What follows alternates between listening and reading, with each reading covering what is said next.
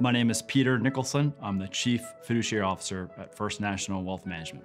Our philosophy at First National Wealth Management is to reduce risk for clients as much as possible and helping them reach their short-term and long-term goals. Having a solid financial plan really includes having an emergency fund um, that should be between three and six months of your fixed and variable expenses.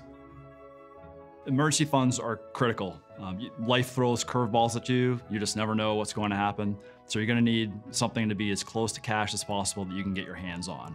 Um, a lot of folks tend to have no cash and they tend to put it in the stock market and think that's okay. But the reality is most investors need something that they can get their hands on quickly within a short amount of time. So an emergency fund could be anything from savings accounts, checking accounts, um, cash equivalents. Those are called treasury bills. Um, what it should not be, it should not be real estate, should not be the stock market, should not be the bond market. So any, anything that's as close to cash as possible would be considered uh, a good emergency fund. So other considerations, uh, we really need to make sure that you have a, a fair amount of cash, not too much cash. Um, a lot of investors tend to keep more than three to six months of fixed and variable expenses.